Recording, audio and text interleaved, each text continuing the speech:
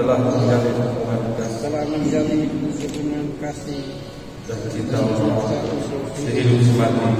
membangun. Kami yakin rencana dan kehendak Tuhan sendirilah yang menentukan dan dari mereka. Karena itu ya Allah, melalui iman kami menyerahkan kedua anak kami agar kasih, dan cinta mereka yang telah terjalin dapat disucikan dan dikuduskan dengan sakramen perkawinan. Inilah doa dan permohonan kami yang kami aturkan kehadiranmu dengan perantaraan Kristus Tuhan kami.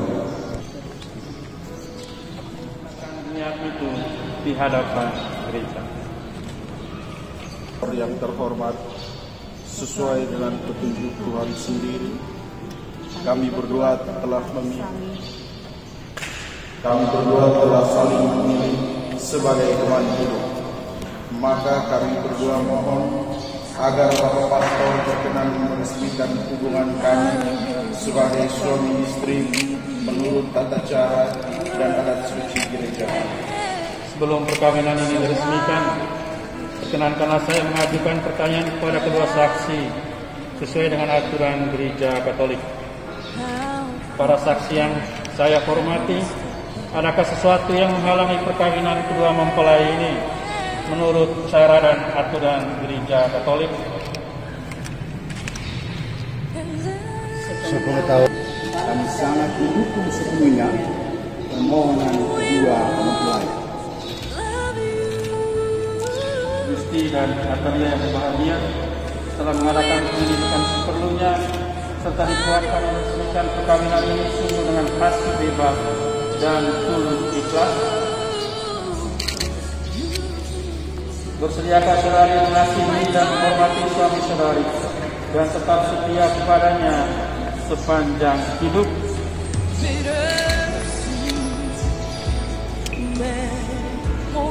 Bersediakah saudari menjadi ibu yang baik bagi anak-anak yang dipercayakan Tuhan kepada saudari dan mendidik mereka menjadi orang Katolik yang setia. Inilah ini tibalah saatnya kesepakatan janji perkawinan saudara. Saya persilakan anda berdua untuk berhadapan.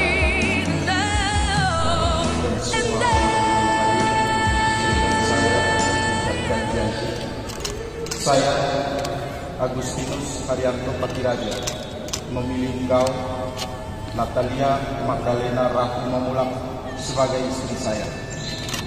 Saya berjanji untuk setia mengabdikan diri saya kepadamu dalam untung maupun malam dan di waktu sehat maupun sakit. Saya mau mengasihi dan menghormatimu sepanjang hidup saya.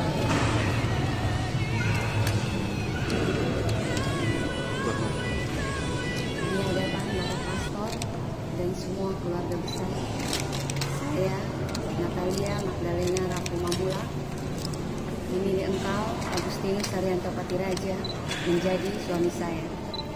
Saya berjanji untuk setia mengabdikan diri kepadamu dalam untung maupun malam, di waktu sehat maupun sakit. Saya saya mengasihi engkau dan menghormati engkau sepanjang hidup saya.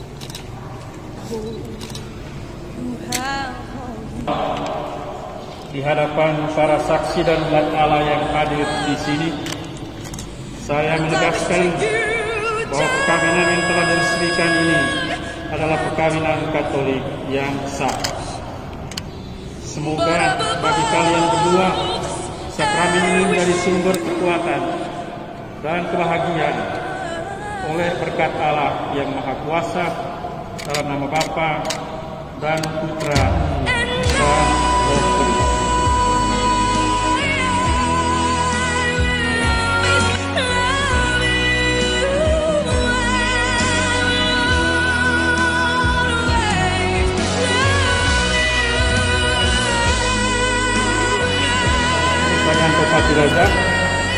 terimalah cincin ini dan kenakanlah pada jari istrimu sebagai lambang cinta dan kesetiaan.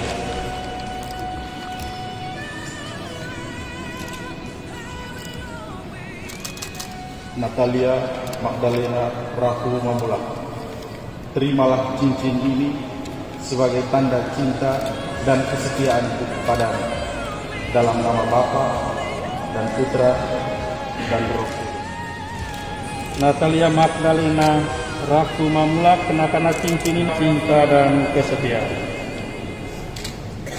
Agustinus Saryanto Patiraja, terimalah cincin ini sebagai lambang cinta dan kesetiaan kepadamu dalam nama Bapa, Putra dan oh, Love you.